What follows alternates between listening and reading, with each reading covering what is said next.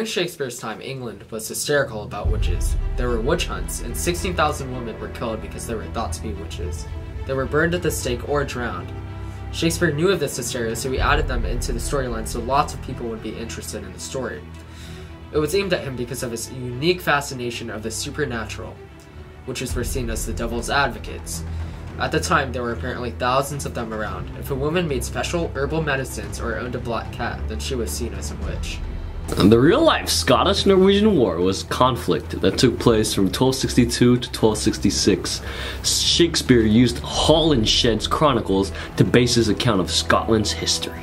It arose over a disagreement on the ownership of Hebrides, a chain of islands off the west coast of mainland Scotland.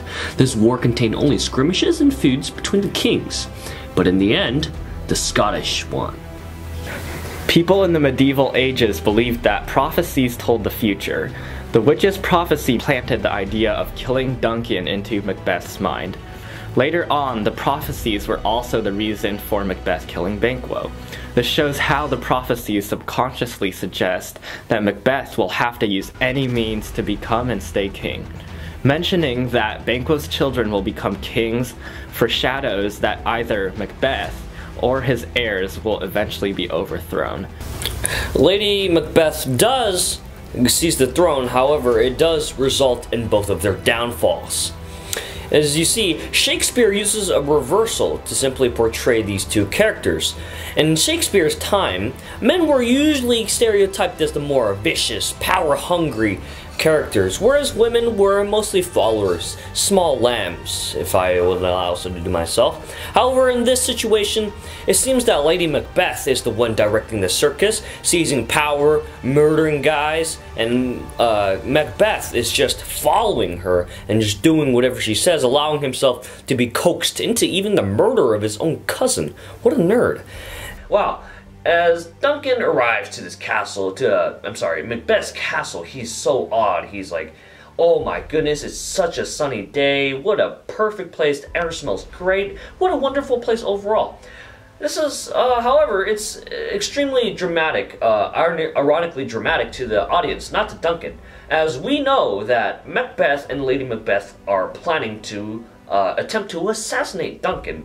Uh, and this could this castle could be essentially his resting place. So with Duncan's attitude of such a high merry person in a place where he could be murdered, uh, seems very ironic. We cut off a lot of the intro and the um, spell making parts because it didn't really get the point yeah, it, did not advance across. the plot. So we're going to have Nathan play this part as a more a more mysterious type of role, a more ominous, uh, power of the unknown sort of type to these mortal men. Not to play Macbeth as a character who has like uh, he is the definition of a tragic hero obviously. He shakespeare wanted to portray him like that. So we want to i want to play him as a character who is good but has you know he has his morals and yes he has he has ambitions and goals but overall he attempts to be loyal. So in this act we're gonna we're gonna portray him as more of a uh, more in the beginning a little more of a uh, more loyal clear character but after a couple scenes uh, we're going to portray him as a character that's becoming diluted. His loyalties uh, dissolve a, a, little bit towards his king and murder is coming to his mind. Duncan. And so we're gonna basically have Govind play Lady Macbeth as a ambitious character, at least for this act. It's not until later on in the other act that she starts to show signs of remorse, but here she shows signs of absolute, you know, ambition. She uh, makes a plan. She, so Austin is playing Macbeth. So we're gonna have Austin portray him as a like a wise king. Uh, not necessarily wise, but sort of happy. He's not. there's a lot of dramatic irony with King Duncan because he's going to Macbeth's castle and he's you know he's in a joyful mood. He's happy. He's exhilarated. He says the air smells sweet.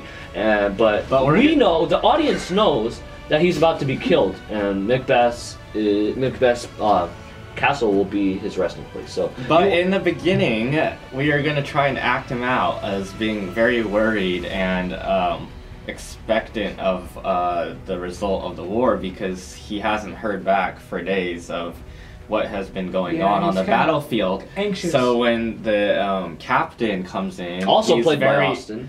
Yeah, played by me. He's gonna be very urgent and um, wi- uh, dying to know the news.